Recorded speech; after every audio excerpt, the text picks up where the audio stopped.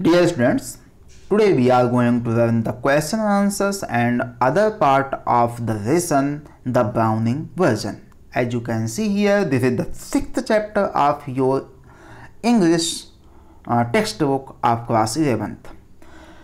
The writer of this lesson is Terence Rattigan. As you can uh, you know, this is an one act play. यह एक this is a one act play यह एक एकांकी है, एक छोटा सा नाटक है, जो कि एक स्कूल को दर्शाया है, उसके दो टीचर्स और वहाँ के एक बच्चे के बारे में है। तो चलिए इसके क्वेश्चन आंसर्स को देखते हैं। पहला क्वेश्चन है comment on the attitude shown by Taplow towards Crocker Harris Crocker Harris के प्रति टेप्रो के द्वारा दिखाए गए व्यवहार पर आप टिप्पणी कीजिए। आप क्या समझते हैं? तो आंसर देखिए Taplow is a student of Mr Crocker Harris Taplow Mr Crocker Harris का एक विद्यार्थी था, है। ही लाइक्स हिम वह विद्यार्थी क्वाकर हैरिस को पसंद करता है एंड एडमायर्स हिम और उनकी प्रशंसा भी करता है। क्यों करता है? फॉर हिज प्रिंसिपल क्योंकि वह सिद्धांतों को मानने वाले हैं, सिद्धांतवादी हैं। आर दो Mr Crocker Harris is very strict यद्यपि मिस्टर काकर हैरिस जो हैं, वो बहुत कठोर हैं। एंड फॉलोज द रूल्स और नियमों को मानने वाले हैं। Taplow likes his sense of discipline. लेकिन टेप्रो को इतने कठोर, इतने नियमों को मानने वाले मिस्टर काकर हैरिस के डिसिप्लिन, उनके अनुशासन को वो बहुत पसंद करता है।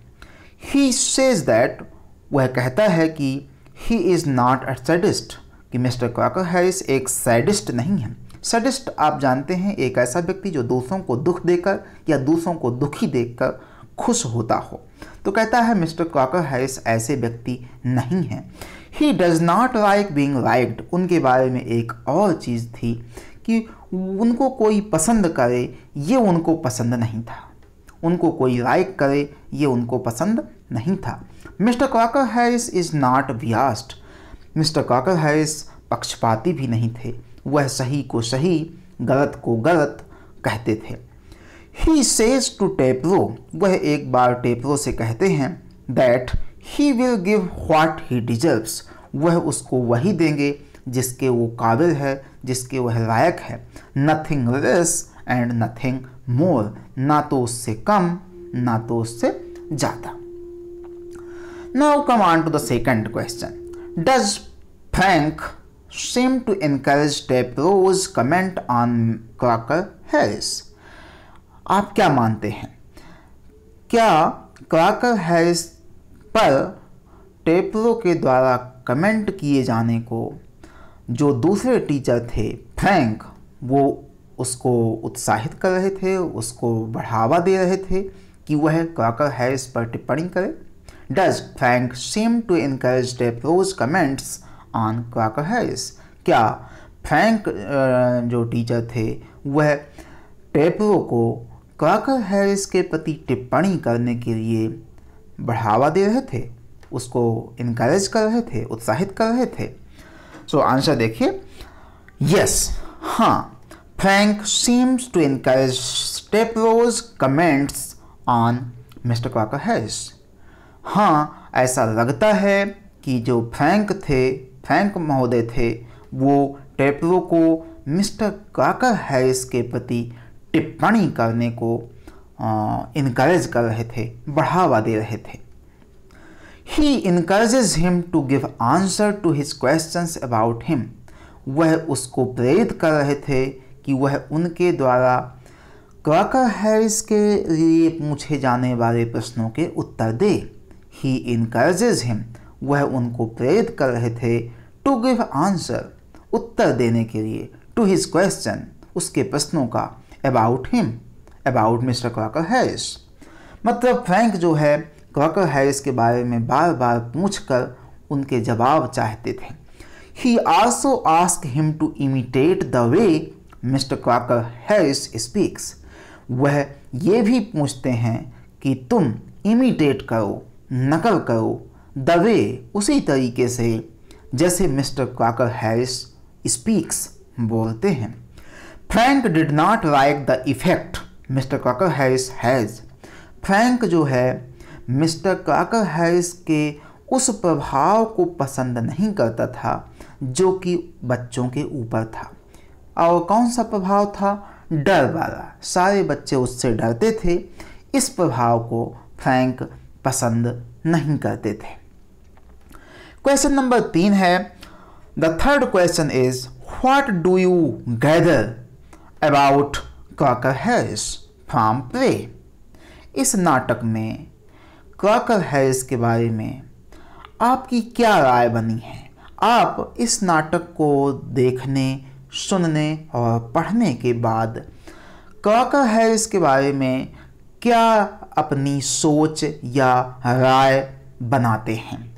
तो आंसर देखिए, मिस्टर क्रॉकर मतलब उनके बारे में आपकी क्या धारणा है, क्या विचार है, ये आपको बताना है। Mr Crocker Harris is a middle aged school master. Mr Crocker Harris लगभग 40-50 साल की उम्र के एक स्कूल मास्टर हैं। Who is a strict man जो कि एक कठोर व्यक्ति हैं। एंड बिलीव्स इन डिसिप्लिन और अनुशासन पर उनका पूर्ण विश्वास है एंड रूल्स और नियमों पर भी। He seems to hate people who like him ऐसा लगता है कि वह उन लोगों से हेट करते थे, नफरत करते थे, जो उनको पसंद करते थे। हु लाइक्स हिम जो उनको पसंद करते थे। He is so frightening that वह इतने डरावने थे कि डरावने चेहरे भर से नहीं होता। उनके कार्य व्यवहार इतने डरावने थे that no students can absent in his class कि कोई भी विद्यार्थी उनकी क्लास से एबसेंट नहीं होता था। He call Taplow for extra work उन्होंने टैप्रो को एक्स्ट्रा वर्क के लिए बुलाया था even though it is his last day यद्यपि यह उनका अंतिम दिन था इन द स्कूल यह उनका स्कूल में अंतिम दिन था। फिर भी उन्होंने टेबरो को अतिरिक्त कार्य करने के लिए बुलाया था, क्योंकि वह एक दिन स्कूल नहीं आ पाया था बीमार होने की वजह से। तो ये these are the three questions in your chapter now on to the second section of this chapter talking about the text. इस टेक्स्ट के बारे में, इस चैप्टर के बारे में बात करना। और जहाँ बात करने की बात आती है तो निश्चित रूप से वो डिस्कशन होगा। डिस्कस विथ पार्टनर्स अपने पार्टनर से इस चीज़ को डिस्कस करना है। तो यहाँ जो आंसर दिए जा रहे हैं, वो एक ओपिनियन है। इस प्रकार आप अपने डिस्कशन को आगे बढ़ा सकते हैं। ये हु बहू आपको कॉपी नहीं करना है। इसको आप लिख लीजिए, फिर इसी आधार पर आप किसी अपने साथी से डिस्कस करिएगा। पहला क्वेश्चन है talking about teachers among friends शिक्षक के बारे में अपने दोस्तों के बीच में बात करना। इस टॉपिक पर आपके विचार क्या हैं? तो चलिए देखते हैं। Students often discuss about teachers among friends विद्यार्थी जो होते हैं, वह अपने दोस्तों के बीच में अक्सर शिक्षकों के बारे में बात करते हैं। It is their favourite pastime यह उनका एक पसंदीदा टाइम पास भी होता है। They are quite intelligent and observe every action of their teacher वह काफ़ी इंटेलिजेंट होते हैं। कौन? बच्चे। And observe every action of their teacher और अपने टीचर के प्रत्येक एक्शन प्रत्येक कार्य व्यवहार को वो क्लोजली मॉनिटर करते हैं। बड़े ध्यान से देखते हैं। ऑब्ज़र्व करते हैं। They imitate the teacher's style वह कई बार अपने शिक्षक की शैली की कॉपी करते हैं, नकल उतारते हैं। चाहे वो उनका बोलना हो, चाहे उनका लिखना हो, या चाहे उनके सेंस ऑफ़ ड्रेसिंग हो, कपड़े पहनने या पहनावे पहनावा हो। Some students consider his teacher as their role model कई विद्यार्थी अपने किसी शिक्षक को अपना एक रोल मॉडल आदर्श रोल आदर्श व्यक्ति मानते हैं। A teacher attracts his students not only by his knowledge and teaching एक शिक्षक विद्यार्थियों को न केवल अपने ज्ञान और शिक्षण विधियों से आकर्षित करता है अट्रैक्ट करता है but the way he communicates and interacts with student बल्कि वह किस तरीके से उनसे संवाद करता है, किस तरीके से उनके बीच में घुलता मिलता है, यह इस पर भी निर्भर करता है। Good relation between teacher and students is necessary बच्चों और शिक्षक के बीच एक अच्छी, स्वस्थ संबंध आवश्यक होते हैं so that students can learn without fear ताकि विद्यार्थी बिना भय के विद्यालय में अध्ययन कर सके। Now come on to the second question the manner you adopt when you talk about a teacher to other teachers. जब आप किसी टीचर के बारे में दूसरे टीचरों से बात करते हैं तो आपको कौन से मैनर्स कौन से व्यवहार, कौन से तरीके एडॉप्ट करना चाहिए, अपनाना चाहिए? कौन से मैनर्स आपको होने चाहिए जब आप किसी शिक्षक के बारे में अन्य शिक्षकों से बात कर रहे हों। तो ऐसा आप डिस्कशन चालू कर सकते हैं। We should respect our teachers and address them with respect and politeness हमें अपने शिक्षकों का सम्मान करना चाहिए और उनको बड़े ही विनम्रता और आदर के साथ संबोधित करना चाहिए एड्रेस करना चाहिए। When we talk about a teacher to other teachers, जब हम किसी शिक्षक के बारे में बाकी शिक्षकों से बात करें we should not forget normal courtesy हमें सामान्य शिष्टाचार नॉर्मल कॉटसी सामान्य शिष्टाचार नहीं भूलना चाहिए फॉरगेट नहीं भूलना चाहिए. The dignity of a teacher एक शिक्षक की जो डिग्निटी है, गरिमा है शुड नॉट बी रोबर्ड उसको कम नहीं किया जाना चाहिए। रोबर्ड मीन्स कम करना। बिफोर अनादर किसी दूसरे के सामने। Our remarks should not be abusive जो हमारी टिप्पणियाँ होती हैं, वह अशोभनीय नहीं होनी चाहिए। अमर्यादित नहीं होना चाहिए। अब्यूजिव नहीं होना चाहिए। आर डेरोगेटरी डेरोगेटरी मीन्स होता है अपमानजनक। हमें कभी भी शिक्षकों के प्रति अपमानजनक या अशोभनीय रिमार्क्स यानी टिप्पणियाँ नहीं करनी चाहिए। We should never call them with their names हमें जहाँ तक संभव हो, उनको, उनके नाम से नहीं बुलाना चाहिए। Now come on to the third question reading plays is more interesting than studying science plays यहाँ खेलना नहीं है। प्रेज मीन्स यहाँ नाटक है। तो नाटकों को पढ़ना साइंस के अध्ययन करने से ज़्यादा रुचिकर होता है। इस पर आपका डिस्कशन होना है। आप इस पर अपनी राय बताइए। आप क्या सोचते हैं? एक नाटक पढ़ना, एक साइंस की किताब पढ़ने से ज़्यादा इंटरेस्टिंग होता है। इस पर आपके क्या विचार हैं? So look at the answer reading plays is more interesting than studying science हम सब जानते हैं कि कहानी, नाटक, एकांकी पढ़ना साइंस के पढ़ने से तो अच्छा ही होता है, रोचक होता है। उसके कारण क्या है?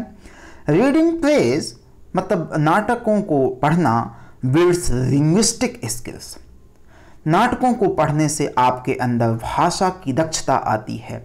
आपको विभिन्न प्रकार के शब्दों का ज्ञान और उनका उपयोग आता है।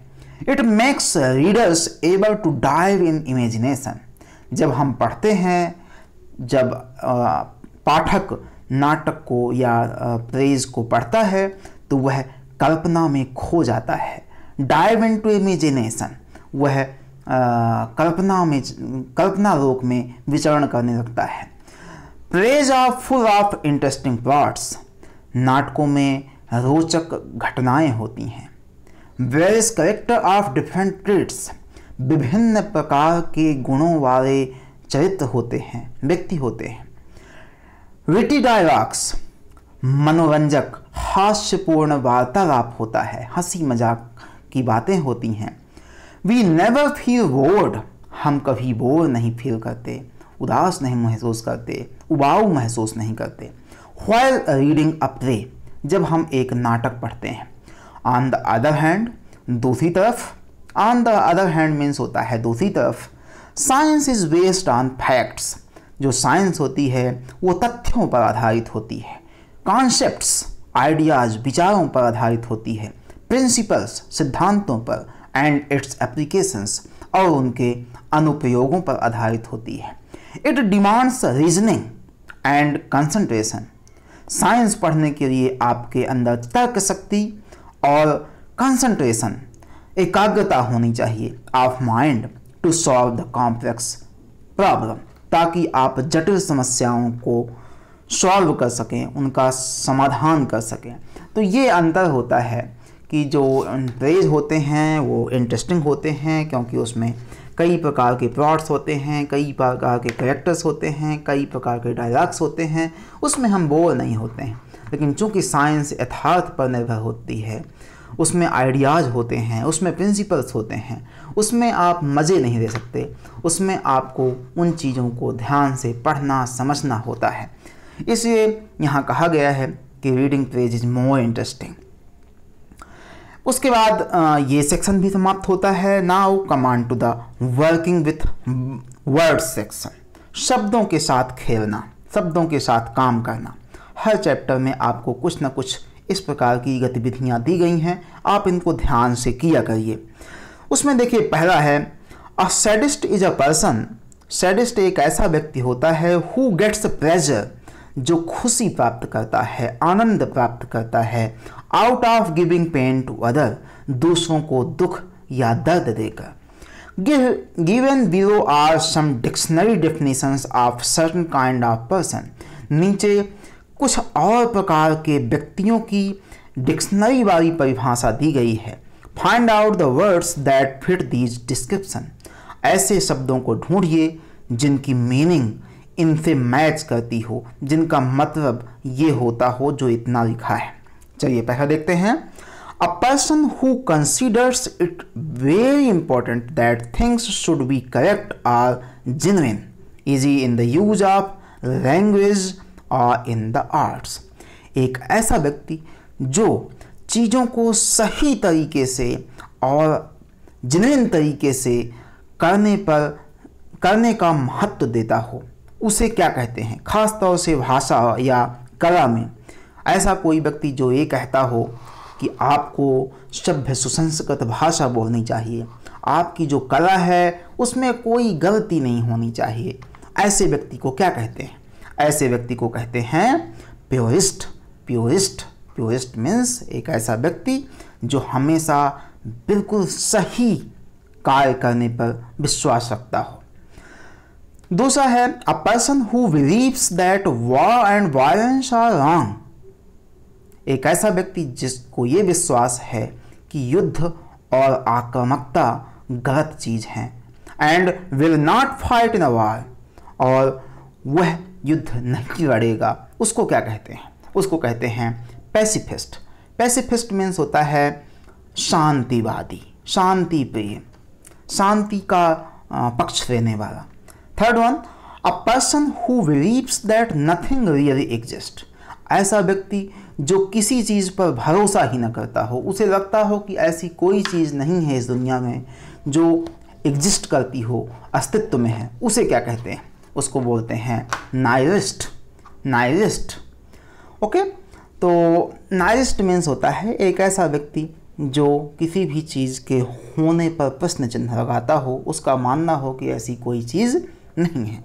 नाइस्ट अच्छा sorry N I H I L I S T यहाँ आई जोड़ दीजिएगा। The fourth one a person who is always hopeful and expect the best in all things एक ऐसा व्यक्ति जो हमेशा आशा से भरा रहता है और सोचता है कि चीज़ें अच्छी ही होंगी, भविष्य में चीज़ें ठीक ही होंगी, उसे क्या कहते हैं? उसको ऑप्टिमिस्ट कहते हैं। ऑप्टिमिस्ट मीन्स होता है आशावादी। और a person who follows generally accepted norms of behaviour एक ऐसा व्यक्ति जो सामान्य व्यवहार के जो मानक हैं, उनको एक्सेप्ट करता हो, स्वीकार करता हो तो उसे क्या कहते हैं?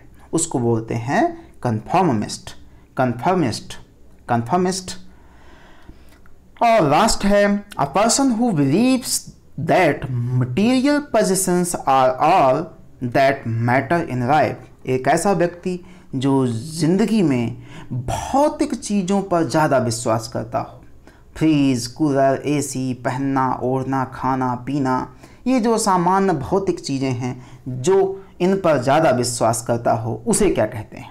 उसे कहते हैं मटीरियलिस्ट भौतिकवादी तो इस प्रकार से आपके वर्किंग विथ वर्ड्स थे।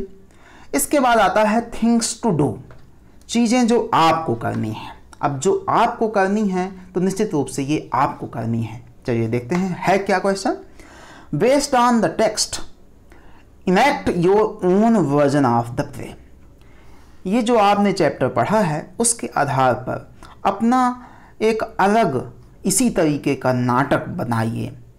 इनेक्ट मीन्स होता है अभिनय। एक इसी प्रकार का नाटक का अभिनय कीजिए या लिखिए। वर्क इन पेयर्स आप जोड़े में काम कर सकते हैं ग्रुप में काम कर सकते हैं। तो ये आपके लिए है, आप इसको करिएगा। इसी के साथ इसकी एक्सरसाइज समाप्त होती है। अंग्रेज़ी वीडियो में, अंग्रेज़ चैप्टर के साथ हम फिर हाजिर होंगे, फिर मिलेंगे। तब तक के लिए आप सभी का धन्यवाद।